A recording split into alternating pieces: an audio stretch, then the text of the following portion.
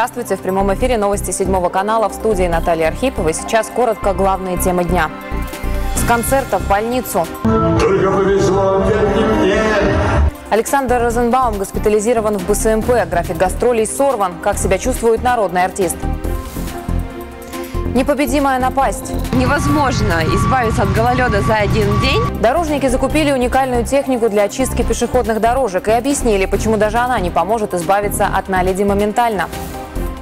Как вернуть деньги за тепло? насколько правильно, насколько то потребление тепла, которое вам выставлено в платежке, соответствует тому теплу, которое вы действительно потребили. Некоторым красноярцам это удалось, а в прокуратуре объяснили, кто виноват в астрономических суммах за отопление.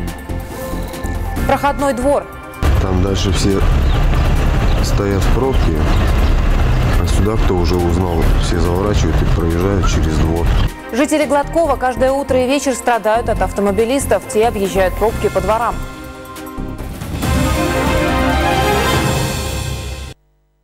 Александра Розенбаума прооперировали в Красноярске. Сразу после концерта в Гранд-холле Барт почувствовал боли в ноге и обратился за помощью к медикам.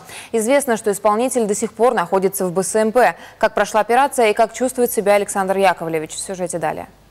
Только повезло опять не мне. Почти сразу после концерта в Красноярском Гранд-холле Александр Яковлевич почувствовал боли в ноге. Ночью музыкант в сопровождении охраны приехал в БСМП. В ходе обследования врачи обнаружили тромб и госпитализировали певца в отделение сосудистой хирургии. Потребовалась срочная операция. Сейчас Александр Яковлевич находится под наблюдением медиков. Я его не привозил, я его не оперировал. Как я вам могу рассказать, я только слышал, что он здесь и все. Но в больнице же, наверное, разговоры ходят. Это что Я говорят? вот с утра мне сказали, я, я не подумала, что это он. Я думаю, однофамилец вообще. А потом уже к обеду ближе сказали, что он настоящий. Отделение сосудистой хирургии находится на втором этаже. В одном из окон на подоконнике виден букет цветов. Известно, что операция прошла успешно. ТАСС со ссылкой на организатора гастролей певца в Красноярске сообщил, что сейчас Розенбаум чувствует себя отлично и уже в среду вернется в отель. А сам Барт на своей странице ВКонтакте успокоил поклонников, написав. Дорогие друзья, все в порядке. Спасибо всем за заботу и поддержку. Накануне в Красноярске Розенбаум дал два концерта. Утром выступил в колонии, а вечером в Гранд-холле. На сцене Александр Яковлевич держался прекрасно и не было даже ни малейшего намека на то, что его что-то беспокоит.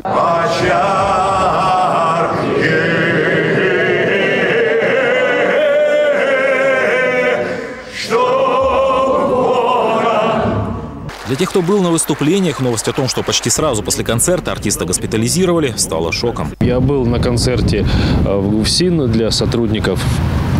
И, конечно, вчера на концерте. Все было прекрасно, ничего не предвещало беды. Отработаны были эти два концерта, ну, просто замечательно.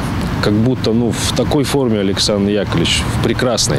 Самое главное, чтобы Александр Яковлевич поправился, потому что мы его поклонники по всей России. Ждем его, конечно же, в добром здравии, Сейчас у певца гастрольный тур по России. После нашего города артист собирался ехать с концертами дальше на восток. Завтра должен быть в Братске, затем Ангарске и Иркутске. До недавнего времени было неизвестно, состоятся ли концерты в этих городах. Однако и на этот счет исполнитель оповестил поклонников. К сожалению, выступление в Братске пришлось перенести. В остальном гастрольный график в силе, как, впрочем, и мое здоровье. До скорой встречи. Дмитрий Пименов, Виктория Мартоник, Данил Дубенко, Седьмой канал. Александр Рус поговорил по телефону с Александром Розенбаумом и пожелал ему здоровья и восстановления сил. Губернатор рассказал, что Александр Яковлевич полон оптимизма, благодарит врачей и всех, кто его поддерживает. БСМП вовремя оказали нужную помощь, операция прошла удачно. Бороться с ледовым накатом на пешеходных дорожках будет новая техника. На нее потратили 3 миллиона рублей. Однако в департаменте дорог пояснили, что ждать полностью чистых тротуаров не стоит. Почему лед упорно побеждает в борьбе с дорожниками, узнавала Лилия Мишалкина. Она же прокатилась на новых машинах.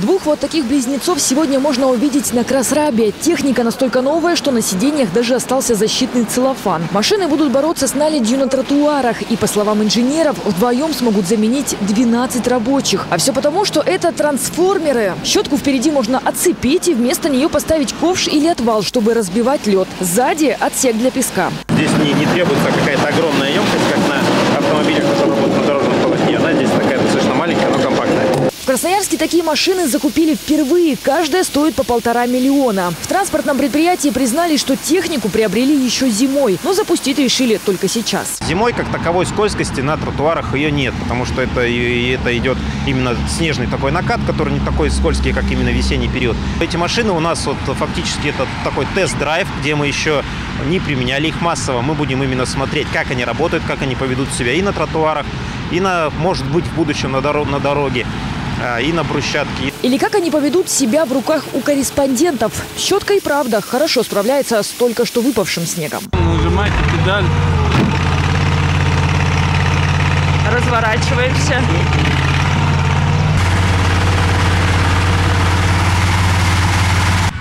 Однако с таким гололедом, который и бывает на красноярских улицах, современная техника не справится. Сначала лед нужно просолить, то есть обработать песчано-соляной смесью. Потом корка растает, и уже тогда в ход пойдут эти современные щетки. В управлении дорог поясняют, универсальной таблетки от погодных каруселей не будет. Работа продолжится также медленно. Невозможно избавиться от гололеда за один день. Его возможно только отдолбить вручную. Это, это очень трудоемкий процесс, сложный. Поэтому ежедневно более 200 дорожных рабочих выходит в смену и работают над этим процессом. Жалуются люди и на управляющие компании, которые не спешат крошить лед во дворах. Приходится порой надевать шипованную обувь, чтобы элементарно сходить до магазина возле дома. Один сплошной каток, честно говоря. Очень тяжело передвигаться, приходится держаться чуть ли не за стены, особенно когда подхожу к подъезду дома. Последнюю неделю, да, заметил, что прям очень скользко. На машине не поехать почти нигде. В город не заехать. Едем на автобусах, стараемся. Одногруппник угол выехал. Дать возможность передвигаться по городу. Сейчас это главная задача, по мнению мэра. Дождь и мороз в течение дня не оправдание для служб. Сейчас поручил увеличить количество людей для уборки тротуаров, выводить бригады и в ночную смену. Усилиться в борьбе со льдом должны управляющие компании и ТСЖ. Почти всю неделю в Красноярске днями ожидается небольшой плюс, а ночи будут морозными. Мокрый снег и дожди останутся с нами на всю неделю. Так что борьба с гололедом, видимо, затянется надолго, даже несмотря на новую технику. Лилия Мишалкина, Эдуард Баглай, седьмой канал.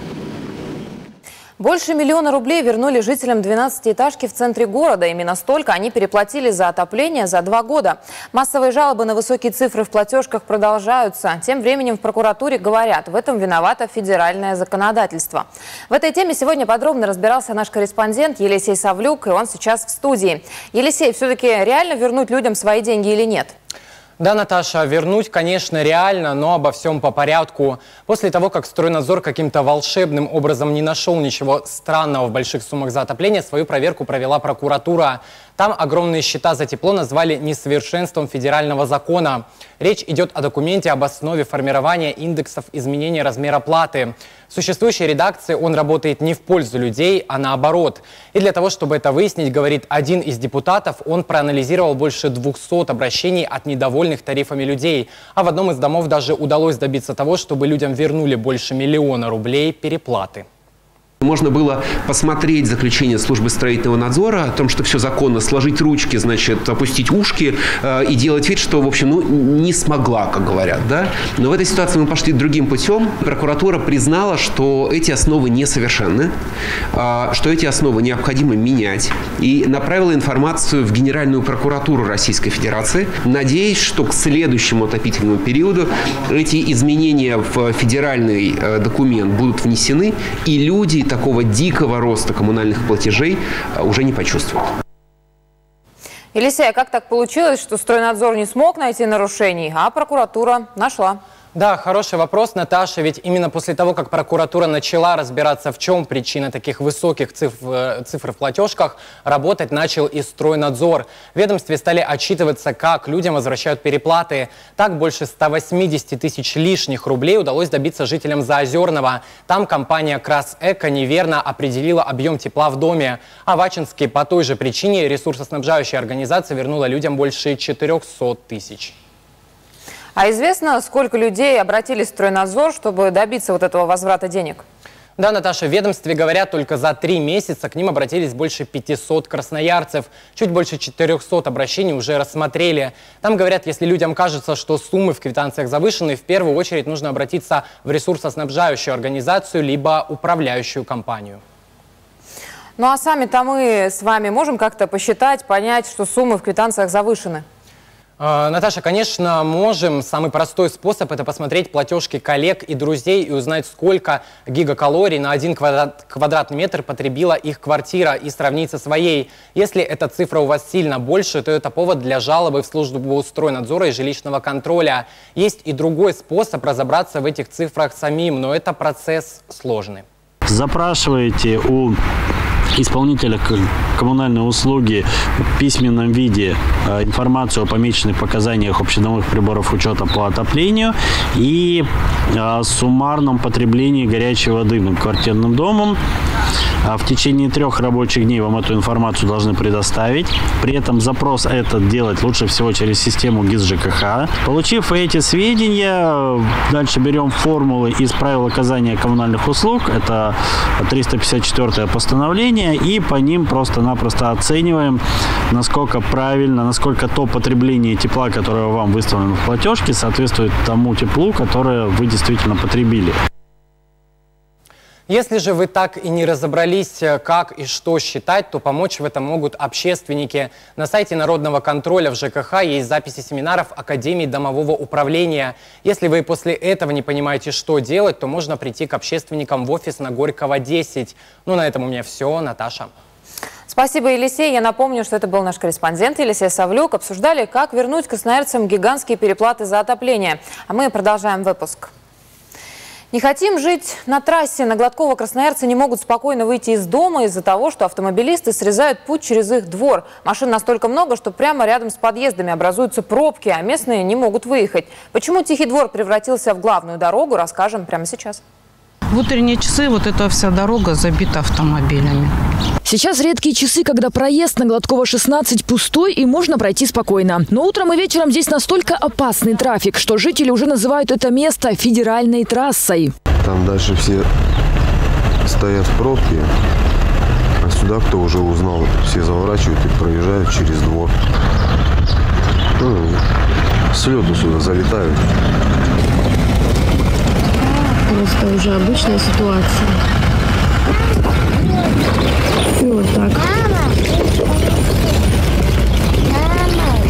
Как хотите, так и разъезжайтесь. Местные говорят, что автохамы нарушают скоростной режим, не пропускают пешеходов и чувствуют себя в чужих дворах вольготно. Вероника каждое утро отводит внука в школу. Теперь спокойно передвигаться возле дома стало забытой роскошью. Естественно, поток с белых роз. Им необходимо как-то действительно дорогу расширить, улучшить. Но получается, заложниками стали наши дома. Ходить с опаской и оглядываясь, местные стали после того, как администрация Свердловского района заставила убрать шлагбаум в районе судостроительной 177. В освободившийся проезд тут же хлынул поток автолюбителей. Люди так решили объезжать пробку на семафорной, в которой обычно стояли по два часа. А у тех, кто стал жертвой этого, рев моторов теперь вместо будильника. По утрам что гул, сигнализации срабатывает.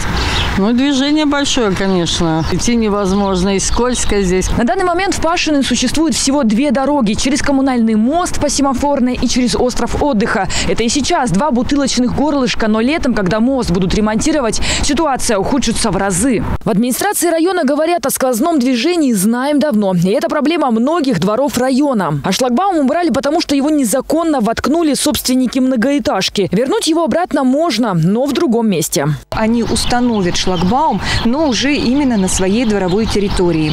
Если вдруг это будет невозможно, а, тогда уже администрация района будет дальше прорабатывать этот вопрос уже со специалистами Управления дорог, инфраструктуры и благоустройства. Конечно, шлагбаум здесь не сильно поможет. Глобально решить проблемы пробок на Пашиным можно будет после расширения семафорной до четырех полос. А сделать это обещают уже к октябрю. Лилия Мишалкина, Валерий Чащин, Седьмой канал. 30-летние могут отправиться служить в армию уже в следующем году. В Госдуму внесли законопроект об увеличении возраста призыва. Предлагают поднять нижнюю планку с 18 лет до 21 года и продлить предельный возраст до 30 лет. Причем верхнюю планку хотят поднять единовременно. То есть, если примут закон, то уже с 1 января следующего года призыву будут подлежать молодые люди до 30 лет. При этом, если вам сейчас от 27 до 30 и вы не служили в армии без законных оснований, принудительно не заберут. Сможете пойти служить жить, если будет такое желание. А вот нижний предел будет двигать постепенно с 24 года от 19 лет, с 25 от 20 и в 26 году начнет действовать окончательный вариант призывного возраста с 21 года до 30 лет. Но при этом, если 18-летний гражданин захочет пройти службу в следующем году, препятствовать этому не будут. Красноярский депутат Гринев вызвал своего коллегу Дюкова на поединок. Это произошло в самом начале сессии Горсовета, где перед народными избранниками должен был отчитаться начальник городской полиции. Кроме депутатов и полицейских в зале присутствовали глава города Владислав Логинов и его заместители. Все они планировали обсуждать серьезные городские проблемы, но в повестку вмешался Гринев и рассказал о своей обиде, которую затаил на коллегу депутата Дюкова, обвинил его в недостойном поведении.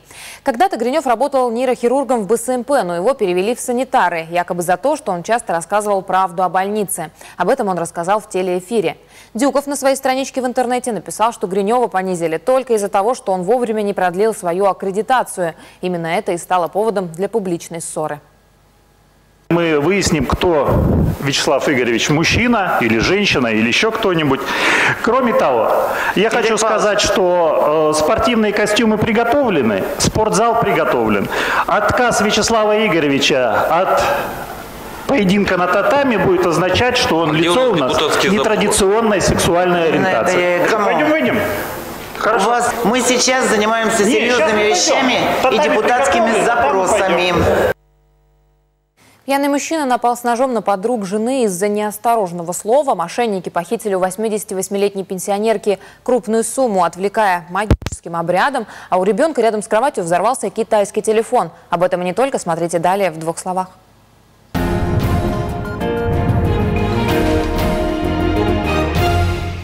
Рядом с кроватью подростка взорвался китайский смартфон. До этого юный красноярец уже год пользовался этим гаджетом. Известно, что ребенок поставил телефон заряжаться и лег спать. Среди ночи его разбудил хлопок. Смартфон загорелся. Ребенок не пострадал. Причины взрыва выясняются. Мошенники украли 88-летней женщины более полутора миллионов рублей с помощью магического обряда. Пара злоумышленников представилась социальными работниками и сообщила, что сейчас якобы проводится денежная реформа, и купюры старого образца нужно переписать для дальнейшей замены. Доверчивая пенсионерка пригласила аферистов домой, мужчина отвлекал ее магическим обрядом исцеления, а его поддельница в это время меняла купюры на билеты банка приколов. Теперь им грозит до 10 лет лишения свободы. Тренер Енисей отдал свою куртку маленькому болельщику, который замерз на трибуне. Матч проходил в Москве. Красноярские футболисты играли с ярославским шинником. Во время матча шел сильный снег. Во время тайм-аута Алексей Вахов подошел к юному фанату и укрыл его своей курткой. Игра на снегу завершилась ничьей. Енисей отставал на один гол, но на последних минутах сравнял счет.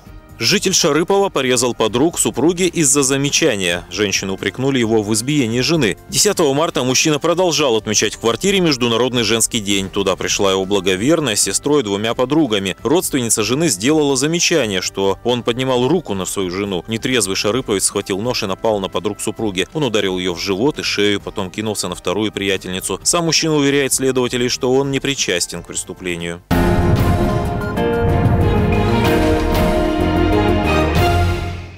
Две новые врачебные амбулатории сегодня официально открылись в Емельяновском районе. Одна из них заработала в поселке Минина, другая в Дрокино. Раньше за медицинской помощью стоматолога или педиатра людям приходилось ездить в город. Какие эмоции вызвало долгожданное открытие врачебных амбулаторий у людей, расскажет Евгений Назарчук. В торжественной обстановке сегодня открылись двери амбулаторий в Емельяновском районе. В новых медицинских учреждениях поселков Минина и Дрокина теперь есть терапевт, педиатр, стоматолог и даже дневной стационар. Первый посетитель Анатолий Владимирович говорит, что открытие врачебной амбулатории для поселка – настоящий праздник. Раньше для местных жителей тут работал обычный медпункт, в котором не было узких специалистов. Теперь же спектр помощи заметно расширился. И рентген на месте. Это вообще радость, я не знаю, как можно объяснить, потому что получить одно, а потом на рентген едь туда. А здесь все на месте.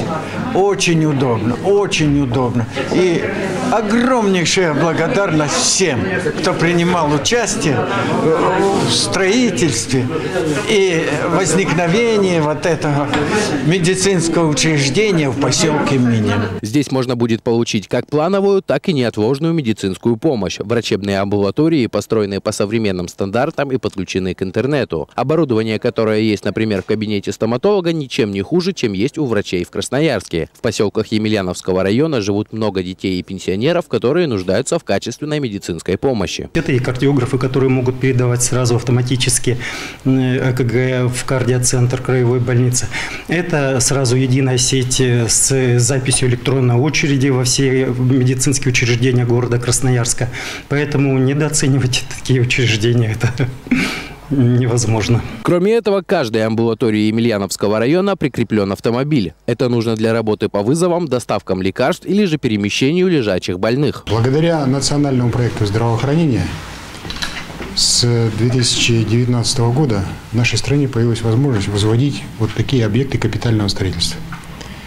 Мы гордимся тем, что это не просто э, капитальное строение, но это еще медицинское учреждение нового типа – потому что оно максимально приближает оказание первичной медико-санитарной помощи к жителям данного населенного пункта. На строительство этих медицинских учреждений в Емельяновском районе было выделено больше 140 миллионов рублей из федерального и краевого бюджетов. В планах Министерства здравоохранения до 2025 года построить 27 врачебных амбулаторий и 103 фельдшерско-акушерских пункта в 31 муниципальном образовании края. Евгений Назарчук, Павел Иваницкий, Седьмой канал. В селе Овсянка начали строить национальный центр имени Астафьева. Трехэтажное здание будет располагаться недалеко от дома музея писателя. В центре разместят конференц-зал, экспозиционные залы, мемориальный кабинет писателя, мультимедийный зал, интеллект-класс и детский центр. Всего две с половиной тысячи квадратных метров. Строительство обещают закончить в 2024 году, к столетнему юбилею Астафьева. Здание будет похоже на маяк, и его увидят все пассажиры, проходящих по Енисею судов. Традиционно в третье воскресенье марта многочисленные специалисты жилищно-коммунальной отрасли отметят свой профессиональный праздник. О текущей ситуации в работе ЖКХ, перспективах развития сферы и ее планах поговорим с министром промышленности, энергетики и ЖКХ региона Александром Ананьевым. Александр Александрович, здравствуйте. Здравствуйте. А, в первую очередь, с предстоящим праздником вас. Спасибо. А, мы встречаемся уже в заключительные такие месяцы отопительного сезона. Можно ли сейчас сделать какие-то выводы вот, по сравнению с периодом прошлого года? Мы, конечно, можем приводить статистические данные, и они свидетельствуют о том, что уровень аварийности снизился, причем существенно снизился в области теплоснабжения и электроснабжения. Ну, чуть скромнее результаты у нас в других э, видах коммунальных услуг, именно водоснабжения и водоотведения. Там, э, если мы говорим в первом случае 60% снижения, во втором 40%, то здесь только на 5%, но это все равно очень, по нашему мнению, хорошо. Ну, то есть 5% по сравнению с прошлым годом. Да. Если говорить про финансы, которые вкладывают ради того, чтобы вот эти 5% получились, это сколько в этом году? В этом году с учетом федерального финансирования миллиард четыреста. В прошлом году было ну, около миллиарда рублей. Поэтому мы э, видим тоже существенный прогресс. Ну а в следующем году мы рассчитываем на более серьезные вложения. Эта сумма составит более трех миллиардов рублей. Если говорить не только о краевых и федеральных, а, допустим, вот э, о том, что у нас есть частно-государственное партнерство в этой сфере, как? Частно-государственное партнерство наиболее красочно характеризует это как раз э, ценовые зоны, которые у нас постановлением правительства введены в городе Красноярске и Канске. Там компания СГК вкладывает существенные средства, которые, э, в принципе, позволяют Э, очень коренным образом э, изменить систему теплоснабжения. Например, в городе Канске зарельсовая часть полностью уже переведена на отопление от Канской ТЭЦ, и там у значительной массы горожан не просто улучшились условия теплоснабжения, но и существенно снизились тарифы. Кроме того, там закрываются частные котельные, которые ранее принадлежали обществу с ограниченной ответственностью Гортепло, это порядка 11 котельных. В Красноярске тоже идут аналогичные процессы, и компания СГК за 10 лет планирует вложить 18 миллиардов рублей. Э, прошлым летом мы с неудовольствием замечали, когда наши дороги, не везде мы могли проехать на общественном транспорте, потому что велись э, ремонтные работы производилась перекладка теплотрассы, но в конечном итоге это все э, приведет к улучшению теплоснабжения и улучшению экологической ситуации, потому что в Красноярске тоже закрыто вот за три года 35 частных котельных, это очень серьезная сумма. Раз уже заговорили про то, что людям-то непосредственно будет лучше, также в вашем э, министерстве да, регулируют вот эту историю с проектом «Чистая вода». Сейчас, я так понимаю, это ищут подрядчиков, да, но у нас появятся какие-то новые объекты, с помощью которых у людей будет чистая питьевая вода. Из федерального бюджета в этом году предусмотрено порядка 800 миллионов рублей. Эти э, средства пойдут на создание 11 объектов на территории края. Действительно, это такой масштабный, масштабный проект. Э, мы сейчас находимся в конкурсных процедурах, идут процедуры закупок. К сожалению, не на все объекты мы нашли пока подрядчиков, но к первому апреля, сроку, установленному правительством Российской Федерации, убеждены, что все будет хорошо, и мы законтрактуемся. То есть заключим государственные контракты для выполнения э, работ, которые Э, которые приведут к реализации проекта «Чистая вода». Александр Александрович, вы назвали 11 объектов. Это крупные города или какие-то у нас мелкие в территориях? В крупных городах у нас проблемы практически решены, поэтому мы сосредоточены решать этот вопрос в более мелких территориях, где такие вопросы стоят наиболее остро. Э, вообще в результате реализации э, этого проекта в этом году мы рассчитываем, что около 51 тысячи жителей края получат чистую питьевую воду. Вы уже сказали про то, что у нас закрываются котельные, да, экологическая ситуация улучшается. Опять же, в ведомстве вашего министерства вот эти экологичные виды отопления, что еще делается, кроме того, что закрываются старые котельные, которые у нас и дымят? В прошлом году мы реализовывали мероприятие по переводу частного, частного сектора на э, газовое оборудование, то есть э, Правда, результаты в прошлом году у нас были скромные, там порядка 23 домохозяйств мы перевели, но для 94 э, 4 э, хозяйств приобрели уже оборудование. Это полностью э, осуществляется все за бюджетный счет. В этом году у нас добавляется дополнительное мероприятие. Это установка твердотопливных котлов, так скажем, повышенной экологичности то есть которые будут работать на угле. И задача, которую перед краем поставила или перед нашим министерством поставила правительство Российской Федерации, это э, э за, заместить в 1314 домах старые печки и, условно говоря, на новое оборудование. Сами-то жители как на это реагируют? Они с охоткой берутся или скорее приходится объяснять, зачем это? Э, ситуация разная, потому что люди в конечном итоге отталкиваются от конечной цены, Э, цены отопления, которое будет после переустановки. Э, кто-то с радостью, вот те 23 человека, в принципе, все благодарны, перешли на газ, имеют возможность его оплачивать, понимая, что газ, конечно, дороже, чем, вот, у, ну, чем раньше они топились на угле. Кто-то э, переходит на электрическое отопление, понимая, что тарифы на электрическую энергию будут на том же уровне, что и сегодня. То есть каждое домохозяйство, исходя из своих финансовых возможностей, принимает такое решение. Некоторые не хотят переходить совсем. Ну, Бывает. Вот смотрите, сфера такая, да, очень активная, и новое законодательство появляется, и вообще очень много новых вызовов. Знаю, что традиционно собираетесь э, с представителями, с своими коллегами, уже, я так понимаю, завтра, да, на конференции. Какие основные темы, вот самое такое, что обсуждать будете? Вот о чем вы, Наталья, сейчас сказали, то и будем обсуждать.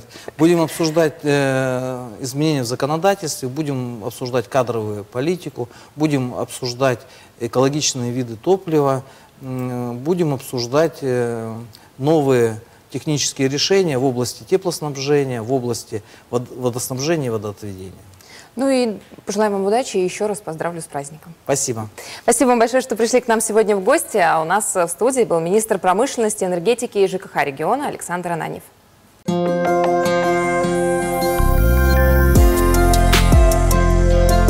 Прогноз погоды представляет компания «Атрибуты здорового сна». Скидка до 30% на диваны, кровати и матрасы. Спонсор прогноза погоды – компания «Кедровый бор». Надежный производитель бань-бочек из кедра. Компания «Кедровый бор» изготавливает кедровые бани-бочки, купели, домики и беседки. Бани-бочки от производственной компании «Кедровый бор» подарят вам не только пользу для здоровья, но и позитивный настрой. Заказывая баню до конца марта, всем дамам скидка 8%. Звоните и заказывайте прямо сейчас. И теперь информация о погоде. В среду, 15 марта, в Красноярске переменная облачность без осадков. Ветер восточный 2 метра в секунду. Атмосферное давление 743 миллиметра ртутного столба. Ночью минус 10 градусов, днем до плюс 5. К этой минуте у нас все сообщения. Если у вас есть свои новости, звоните в нашу редакцию по телефону 2 900 333. Присылайте фото, видео и сообщения на наши Viber и WhatsApp. Номер 8 391 2 900 333. А также в чат телеграм-канала. Ну и не забывайте о наших социальных сетях. С вами была Наталья Архипова. Всего вам доброго.